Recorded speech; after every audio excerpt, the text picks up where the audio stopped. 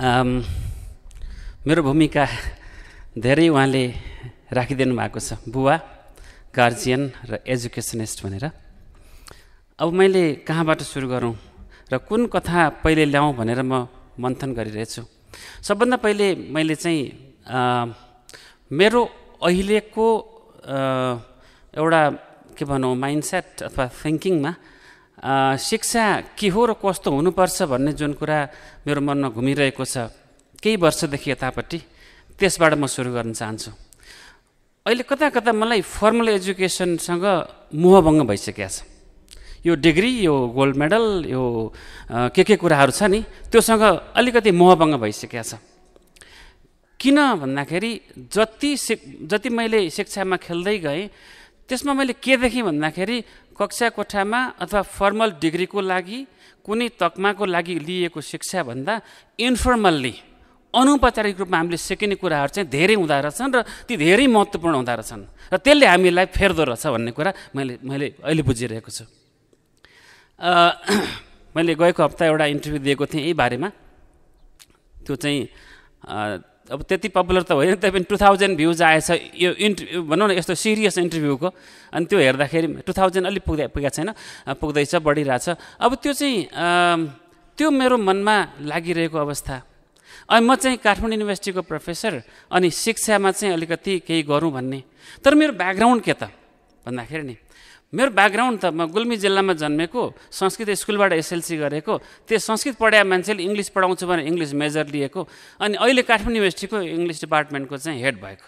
हेर्नुहोस् है मेरो त्यो आनका तान मेरो जुन ऊ छ नि के अरे फड्को जुन मारेको छ नि यो बिचमा म कसरी कहाँसम्म आइपुगेँ भन्दाखेरि मेरो धेरै कुराहरू चाहिँ इन्फर्मल लर्निङले नै मलाई सिकाएको छ भन्दा त्यसलाई मलाई परिवर्तन गराएको छ।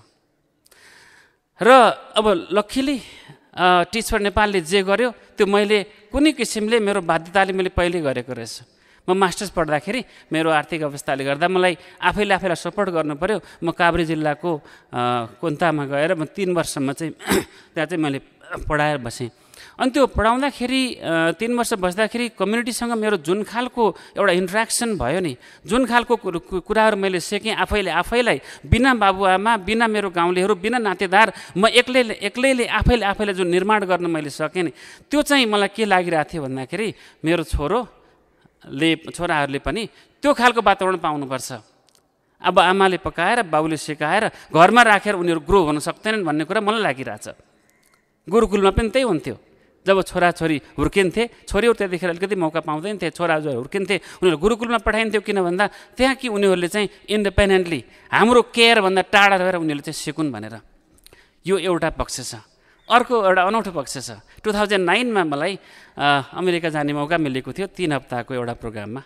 अनि त्यो प्रोग्रामको एउटा पाटो के थियो भने स्टेट डिपार्टमेन्टमा गएर शिक्षाका कुराहरू बारेमा चाहिँ सुन्ने कुराहरू भएको थियो।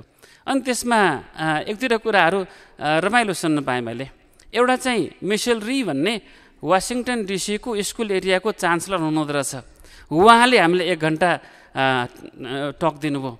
अनि उहाँ त को रहेछ भन्दाखेरि सिकागोमा धेरै राम्रो काम गरे भएर वासिङटन डिसीको मेयरले चाहिँ पिक गरेर ल्याउनु भएको किन भन्दाखेरि वासिङटन डिसी एरियाको एजुकेसन दुनियाँमा सबभन्दा खराब रहेछ।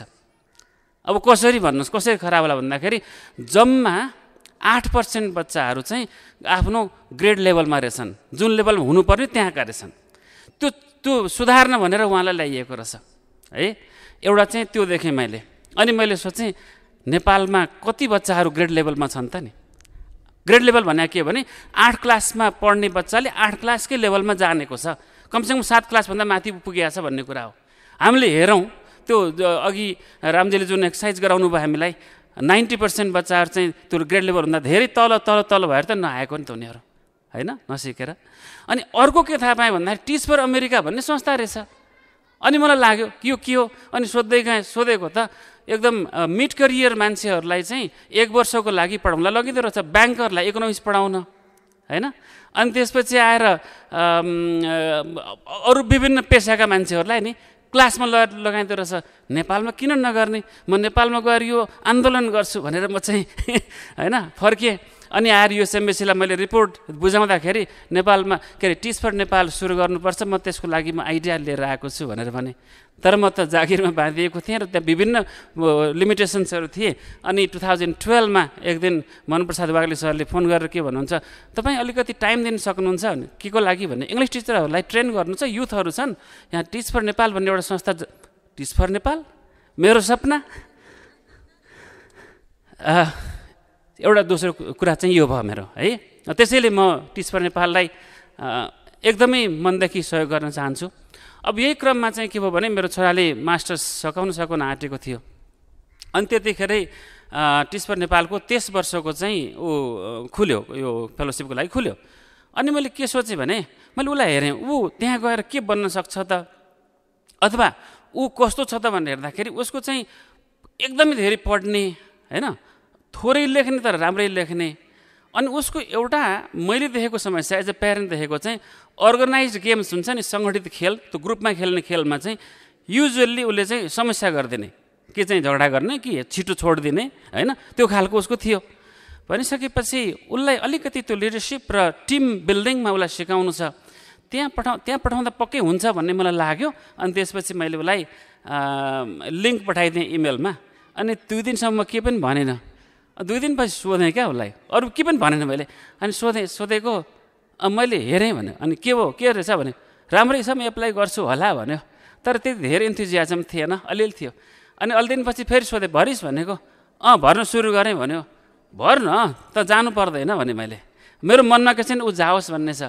तर I don't want to force him force गरेर होइन ऊ आफूले बुझेर जाओस्। अनि ऊ चाहिँ एप्लाई गर्यो।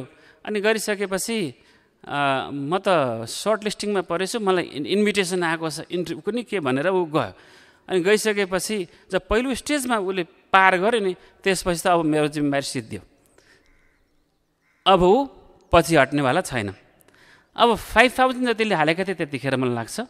अनि त्यसमा चाहिँ नाइन्टी थ्रीले सेलेक्सन हुँदा लाई सेलेक्सन गरिँदाखेरि ऊ पऱ्यो अनि म खुसी नै भएँ। अझ मैले त के भनेको थिएँ भने हेर मैले मैले एउटा चाहिँ के गरिनँ भने म स्वस्तिकाजीसँग चिन्जान थियो धेरैजनासँग चिन्जान थियो। फर्स्ट ब्याचलाई मैले ट्रेनिङ दिएको प्रज्वलजीहरू मेरो त्यतिखेरको ट्रेनिङ हुनुहुन्थ्यो होइन? मैले उहाँहरूलाई फोन गरेको भए इमेल गरेको भए मेरो छोरालाई राखिदिनुहोस् भनेको भए पनि त हुन्थ्यो नेपालको चलन होइन? मैले के पनि गरिनँ। नाम निस्क्यो। निस्किसकेपछि अब उसलाई मैले के भने भने तिमीले चाहिँ कुनै पनि ठाउँ नमाग्नु है इन्फ्लुएन्स नगर्नु। भने अब उसले के गर्यो गरेन थाहा छैन तर मलाई चाहिँ ललितपुरभन्दा अझै टाढा जाओस् भन्ने लाग्थ्यो। टाढा गएर उसले चाहिँ आफ्नो लाइफ आफूले बिल्ड गरोस् भन्ने लाग्थ्यो। ललितपुरमा पऱ्यो गिम्दीमा गयो तर पनि त्यो ठाउँ सोचे जस्तै रहेछ भनौँ न उसको लागि चाहिँ अलिक फरक एउटा जीवन जिउनको लागि बुझ्नको लागि आफूलाई बिल्ड गर्नको लागि। अब अहिले उसले के गर्छ है त? अब त्यो सङ्गठित खेल खेल्न समस्या थियो भन्ने मान्छे अहिले त उसले के गर्छ भन्दाखेरि नि टिमहरूलाई लिड गर्छ। अनि यहाँबाट लमजुङ जान्छ अनि म मोनिटरिङमा गएको भन्छ मलाई कहिलेकाहीँ त्यो विश्वास नलागे जस्तो भइरहेको थियो। अनि एक महिना अगाडि चाहिँ एउटा मेरो फ्यामिलीको एउटा छोरी छ ऊ कोरियामा पिएचडी गर्दैछ उसको चाहिँ डिफेन्स गर्ने बेला भएको छ आफ्नो थिसिसको अनि मैले के भने ल म मेरो वाइफ अनि मेरो दुइटै छोराहरू बस्ने त्यो डिफेन्सको चाहिँ रिहर्सल उसले हामीसँग गर्ने अनलाइनमा भनेर मैले त्यो कार्यक्रम आयोजना गरेँ। अनि साँझमा डिफेन्समा अब म त युनिभर्सिटीमा सधैँ डिफेन्स गराइरहेको मान्छे होइन? पिएचडीको हाम्रो चलिरहन्छ डेली एउटा डिफेन्स भइ भइरहेको हुन्छ अनि त्यसपछि जब त्यो सुरु भयो नि त्यसपछि त मेरो छोरो प्रशान्तले चाहिँ त्यो लिड लियो क्या। उसले के भन्छ भने यसरी गर्ने यसरी गर्ने फलानु यसरी बोल्ने भन्यो। ल ठिक छ। अनि त्यसपछि सुरु भयो उसले प्रेजेन्टेसन सकाइन् त्यसपछि रिफ्लेक्सन अब त रिफ्लेक्सनमा त मेरा वर्डहरू अलिक पुराना भइसकेका छन्। मेरो डिजाइन पुरानो भइसकेछ अनि उसले झन्डै ट्वेन्टी मिनटसम्म हामी चारजनालाई उसले यसरी त्यो रिफ्लेक्सनमा लगायो नि I think he did several times better than I do at the university thank you टिएफएन त्यो के छ भने ठिक छ। फेलो हुने भनेको गाउँमा जाने हो त्यहाँको समाजमा सुधारमा चाहिँ अलिकति कन्ट्रिब्युसन गर्ने हो अनि बच्चाहरूको अलिकति त्यो आफ्नो लाइफको बाटो देखाइदिने हो त्यो हो तर त्योभन्दा पहिलो कुरो त आफू पनि बन्ने हो। है? र बन्ने कुरा ग्यारेन्टी छ। होइन? ग्यारेन्टी छ। अनि अर्को कुरा जुन कुरा उठिरहेको छ नि दुई वर्षको समय उसले पनि त्यही भने सुरुमा चाहिँ त्यो त्यो पहिलो सेलेक्सन नपर्दासम्म दुई वर्ष भन्थ्यो होइन? अनि अलिकति सेलेक्सन पर दुई वर्ष भने पहिले त दुई वर्ष भन्छ अहिले। उसको चाहिँ त्यो अब दुई वर्षलाई टाढा छैन लामो पनि छैन ठिक छ। अनि मैले के भन्थेँ हेर भाउ त्यो त्यहाँ नजिक बसेको छ बाइक लिएर जाने। अनि त्यसपछि फ्राइडे साँझ चाहिँ त्यो मैला लुगा लिएर घर आउने होइन भनेको थिएँ मैले उसलाई। ऊ त एक महिना डेढ महिना घर पनि आउँदैन। अनि त्यसपछि ऊ डेली के गर्ने हो त्यहाँ होइन? नुहाउने हो लुगा धुने हो के गर्ने हो सबै कुराहरू उसले चाहिँ आफ्नो गरेको कुराहरू चाहिँ रेगुलरली उसले चाहिँ हामीलाई रिपोर्ट गर्छ अनि लेख्छ सबै कुराहरू गर्छ। त्यसैले टिस्पर नेपालमा जानु कुनै पनि एङ्गलबाट शङ्का गर्नुपर्ने होइन? अनि त्यसपछि मतलब लस हुन्छ कि भन्ने त्यो कतैबाट पनि लिनु पर्दैन। अब यो त एउटा निजी कुरा भयो। अब शैक्षिक कुरामा हेर्दाखेरि नि अस्ति उसको त्यो टिस फर अलको फेसबुक पेजमा चाहिँ उसको एउटा फोटो भिडियो र अनि त्यसपछि एउटा उसले लेखेको कोट एउटा आएछ। अब त्यो हेर्दा नै देखिन्छ कि हि हेज इन्टरनलाइज उसले चाहिँ आफ्नो शिक्षाको जुन सिद्धान्त उसले चेन्ज गरिसकेको छ। अनि आजकलको उसको मेरो फोन चाहिँ अर्कै भइसकेको छ।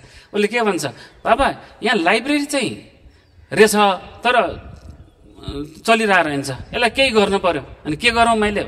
मलाई अलिकति किताब मिलाइदिनु पऱ्यो किताब त मिलाइहाल्छ नि लाइब्रेरी बनाउनु पहिला अहिले के भएको छ नि म किताब खोजिदिउँला अनि त्यहाँ चाहिँ त्यो वातावरण बनाउने भनेर त्यसमा लागिरहेको छ। अनि अलि दिनपछि के भन्छ बाबा यो भित्तामा अलिकति मुरल बनायो भने लर्निङ हुन्छ होला।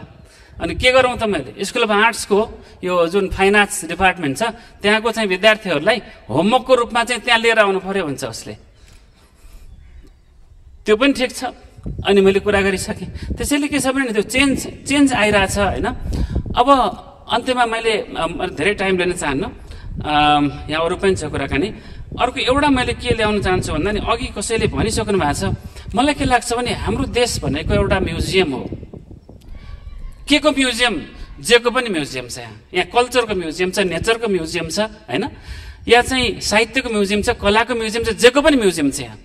त्यो म्युजियम कहाँ छ भन्दाखेरि हरेक गाउँमा छ हरेक समुदायमा छ सबै समुदायमा छ।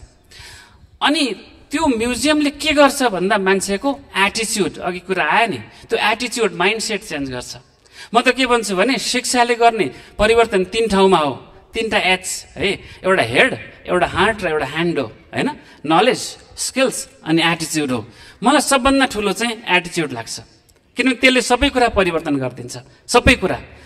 अब यो परिवर्तन यसो कहिलेकाहीँ के हुँदो रहेछ भने हामी को हौँ? भन्ने कुरो हेर्नलाई चाहिँ बाहिरकोले हामीलाई कसरी हेर्छबाट पनि हामीले गर्न सक्छौँ। है? Peter Moran doctor Peter Moran हुनुहुन्थ्यो फुल ब्राइटको नेपालको चाहिँ डाइरेक्टर। उहाँ धेरै वर्ष यहाँ बस्नुभयो। यहाँलाई थाहा छ अमेरिकन सोसाइटी वेस्टर्न सोसाइटीमा चाहिँ अठार वर्ष पछाडि छोराछोरीहरूसँगै नबस्ने अनि त्यसपछि आफ्नो संसार खोज्न आफै हिँड्ने र बाबुआमाहरू चाहिँ सक्दासम्म गर्ने नसकेपछि एल्डरली केयर होममा गएर बस्ने होइन? बाबुमा अनि बाबा कहाँ हुनुहुन्छ भनेको त्यहाँ फेरि इन्डिपेन्डेन्ट भन्यो अनि आफू चाहिँ केयर गर्नु पर्दैन। तर पिटर मोरान दस वर्ष जति नेपाल बसिसकेपछि उहाँले के डिसाइड गर्नुभएछ भने म म अमेरिका जान्छु र मैले नेपालमा सिकेको एउटा कुरा म प्रयोग गर्छु। यहाँले गेस गर्न सक्नुहुन्छ। के भयो होला त्यो? नेपालमा बाबुआमालाई यति केयर गरिँदो रहेछ कि बुढो हुँदाखेरि होइन छोराछोरीले सबैभन्दा ठुलो प्राइम जिम्मेवारी चाहिँ बाबुआमालाई सेवा गर्ने भन्दा रहेछन्। अमेरिकामै चाहिँ छुट्टिएर बस्छौँ। म अब अमेरिका फर्केर मेरो आमाको सेवा गर्छु भनेर उहाँ चाहिँ अब जागिर होइन बिजनेस होइन आमाको सेवा गर्ने भनेर फर्किनु भयो त्यस्तो शिक्षा हाम्रो समाजमा छ। हामी त्यो जिउँछौँ हामी। होइन? तर त्यसलाई अहिले आधुनिक शिक्षाले अलिकति के गरेको छ? हाम्रो यो फर्मल एजुकेसनले भने अलिकति टुक्राउन कता कता एट्याक गरे जस्तो भएको छ। र यस्तो मुभमेन्ट जुन छ नि टिएफएनको मुभमेन्ट जुन छ नि जसले चाहिँ कम्युनिटीमा पठाएर परिवारमा बसाएर अनि यो खालको रिफ्लेक्सन गराएर उनीहरूलाई चाहिँ त्यो सायद जिउन एउटा मौका दिएको छ। है? त्यो मौका पाउनु भनेको त मलाई लाग्छ टिस्पर नेपालमा यो फेलो भएर जाँदाखेरि शङ्का गर्नुपर्ने आफ्नो जिन्दगीको दुई वर्ष खेर जान्छ कि भन्ने होइन कि त्यो त भाग्यले पाउने कुरा जस्तो लाग्छ मलाई। किनभने यसबाट धेरै कुरा परिवर्तन हुन्छ। अब मैले टिपेर ल्याएको कुराहरू यही नै हो। म चाहिँ के भन्छु भने मलाई लाग्छ म एउटा प्रश्न सोध्छु गार्जियनहरूलाई जो गार्जियन कोही गार्जियन आफ्नो एजको पनि आउनु भएको छ होइन? अहिलेको जुन फेलो आउनु भएको छ नि नयाँ यी फेलो यो अहिले भर्खर रिक्रुट हुनुभएको उहाँहरू त्यो फ्यामिलीको पहिलो शिक्षित व्यक्ति हो कि दोस्रो जेनेरेसनको? पहिलो हो भने हात उठाइदिनु होला। तपाईँको परिवारको पहिलो हो भने। तपाईँ पहिलो शिक्षित व्यक्ति हो। भनेको होइन तपाईँ गार्जियन होइन। जुन फेलो आउनु भएको छ नि उहाँहरू चाहिँ कोही पनि भएन। भनेपछि अब म प्रश- प्रश्न के छ भने हामी त संस्कृत पढेर के पढेर कहाँ गएर कसरी पढेर हामीले जिन्दगी बनायौँ यहाँ आयौँ नि त। आफूलाई बनायौँ। अब हाम्रो सन्तान पनि त्यही बाटो जाने हो भने त हामीले गरेर के काम लाग्यो उनीहरूले त अर्को काम गर्नुपर्छ। मेबी गिभिङ ब्याक अब फेरि दिनुपर्छ। आफू बन्नु त पर्छ तर दिनुपर्छ। यही फिलोसफीलाई मनमा राख्दै फेलोहरूले चाहिँ के बुझौँ भने हामीलाई बुवा आमाले जिन्दगी दिनुभयो हामी त्यो जिन्दगी अरूलाई पनि दिन सक्नुपर्छ। यो भावना लिएर यहाँहरू जानुहोला। दुःख फिजिकल हुन्छ यहाँहरूको लागि इमोसनल दुःख हुने छैन मेन्टल दुःख हुने छैन अरू केही पनि हुने छैन। अलिकति होइन तपाईँको बिस्तारा ऊ होला के अरे गाह्रो होला। मेरो छोराले पहिला चाहिँ सिरक लिएर जान्छु भनेको थियो कि। अहिले चाहिँ चाहिँदैन भन्छ किन बानी पऱ्यो अरे क्या? त्यो फिजिकल दुःख दुःख होइन। तपाईँहरू दुई वर्ष पछाडि आउँदाखेरि you will not be the same person I guarantee thank you so much